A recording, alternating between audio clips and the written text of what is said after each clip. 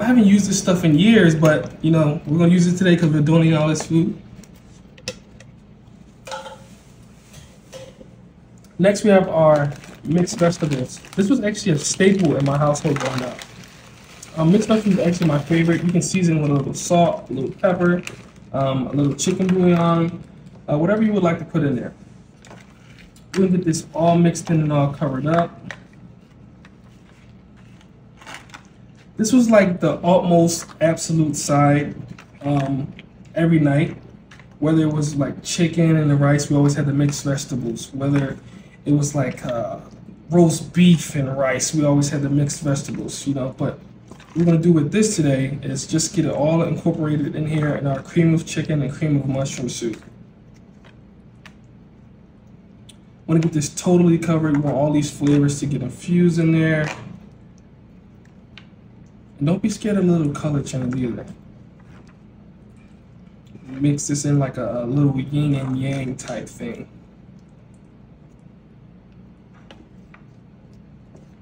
So next, we're gonna add in here is a little bit more vegetables. One of uh, my absolute favorite vegetables, um, simply because you can steam it, you can blanch it, uh, you can roast it, you can pan fry it. Um, we're going to add here is our little broccoli florets.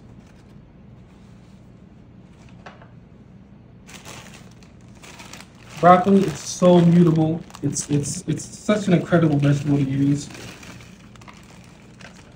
But um, you know, broccoli is going to oh, making a mess there. Broccoli is such an incredible vegetable to use. You can literally mute it and uh, make it taste like whatever you want it to taste like. Um, incorporate it into any of your dishes that you like to incorporate it into. Like I said, you can blanch this, you can roast it, you can pan fry it, uh, you can steam it, which is kind of how most people eat it. They eat like the steamed broccoli. Um, me personally, I like my broccoli stir fried. I actually recently purchased a big wok off of uh, Amazon for that purpose. So we can get this all incorporated in there, get our broccoli and our mixed vegetables in here with this cream of chicken and the cream of mushroom soup. We're gonna lay this all flat afterwards. Let's grab this back here. Wanna get it everywhere, everywhere, everywhere. Miss no meals, miss no spaces. Perfect, let's get that out there. Next, what we're gonna do, we're gonna add um, a little bit of this black pepper. I love black pepper. You know, um, black pepper is, is, one of the biggest things that's in my arsenal in my kitchen. I put it on dishes that some people don't believe that it actually belongs in. But I love, love, love pepper. You can do it to your heart's desire, but for me, pepper is where it's at. Next, we have my favorite salt, which is this Himalayan pink salt. Um, you can use kosher sea salt, which is ha which has a saltier uh, taste to it. Um, I use Himalayan because salt, uh, not really my thing, um, but it's still good as a seasoning. Yes, This is Himalayan pink salt has a light salty texture. We're gonna get this mixed in as well. Get this in here mixed in, just so the pepper and salt aren't just sitting on top want to get all these flavors again infused throughout the whole dish. How would you feel if you only had pepper on just the top layer of your dish? Uh, with me, um, unlike a lot of people, uh, if I don't see the pepper in my food, it's not enough. I'm gonna get this in here. Looks like the pepper's all through there. I'm pretty sure the salt is in there as well. We're gonna just reflatten this out. Because next, we're gonna add one of the most greatest ingredients in the world.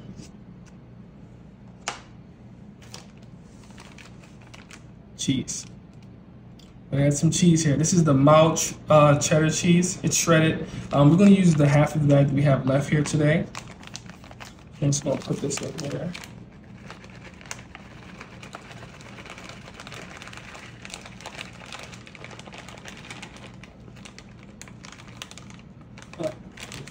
Cheese itself. Easy fix.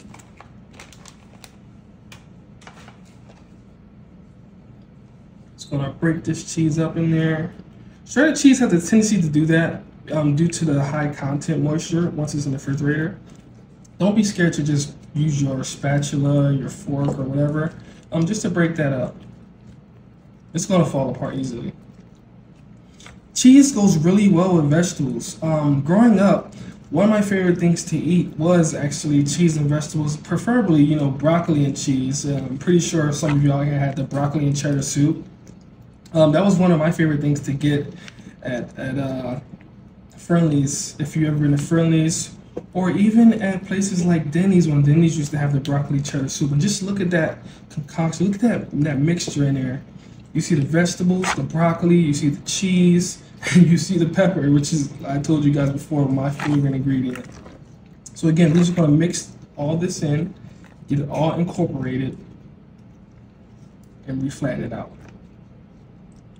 Look at this beautiful, vibrant color, this rainbow arrangement of vegetables and cheese. Immaculate. Next, another incredible ingredient. We have this oven roasted diced chicken breast. Diced chicken breast is going to go perfect for this. It fits well with the cheese. It fits well with the broccoli. Um, we can use about half of the bag. Use to your heart's desire. I'm going to use half the bag. We're going to get this mixed in here. And we're going to do the same exact thing that we did with the cheese, the broccoli, the salt, and the pepper, which is to get this all incorporated. Truthfully, this was one of the earliest things I ate growing up, uh, second to shepherd's pie. And the only reason I got introduced to this was because my mom and my aunt got tired of me always asking for shepherd's pie. Uh, and this was like their substitute because at that time they were tired of buying and stocking the freezer full of beef. there, there was five of us growing up, so. Look at that. It looks full, it looks well-bodied, it looks hearty even. Everything in here just looks immaculate. We have chicken, we have cheese, we have broccoli and mixed vegetables. Man, you guys, you guys gotta try this. This is incredible. Next, we're gonna do, we're gonna add another part of my favorite things to do here, biscuits. We have these originals, grand biscuits. We have the eight big biscuits, so we're gonna have more than enough to cover this. Um, the thing about these Grand's biscuits cans, they always remind me of party time. Here's why. Listen, you get that nice little rip. You take this. Oh, oh, I didn't do it. I didn't do it. Here it is. There it is. That's that confetti pop. You ever had a party popper and it does that? That's what it reminds me of. So we're gonna take these nice Grand's biscuits.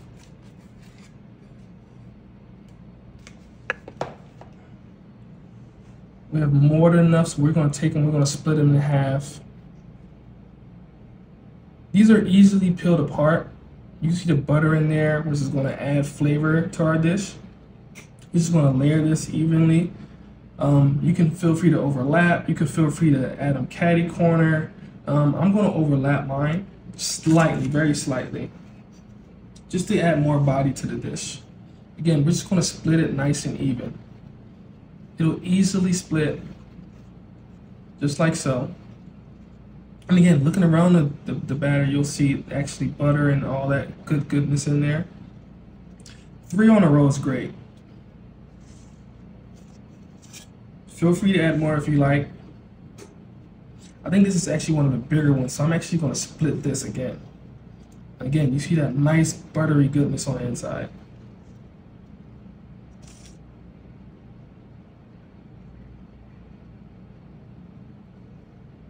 Oh, this one may have ripped on me, but we still got a great one out of that.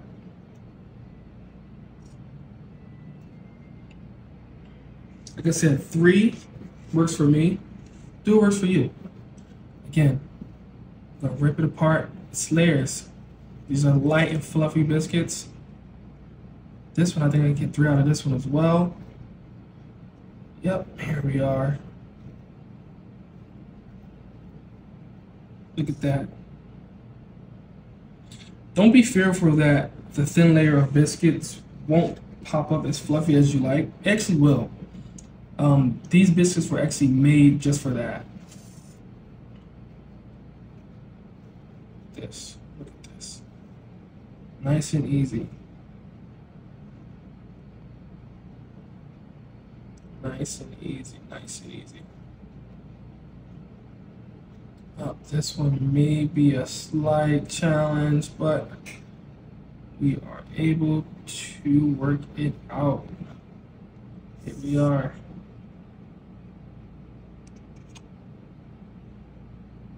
Again, don't be fearful that the light layer, or thin layer, excuse me, is not enough. It will be.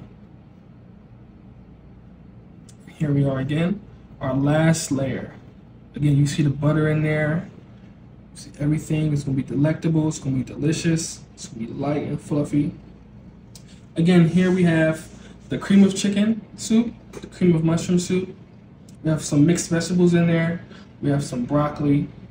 We have some cheese. We have some salt and pepper. Again, do the salt and pepper to your heart's content, or you can add any spices that you like. Um, we layer that on top with our Grand's Big Biscuits. With, as you can see, there's butter all throughout the biscuits. This is going to go into the oven for 350 for 50 minutes. Oh my god, guys, this looks amazing. It looks great. I wish I could cut into it, but I can't because we're donating this to Sober Living in Las Vegas. But this is utterly phenomenal. It smells immaculately, it smells delicious, and hope you guys enjoy.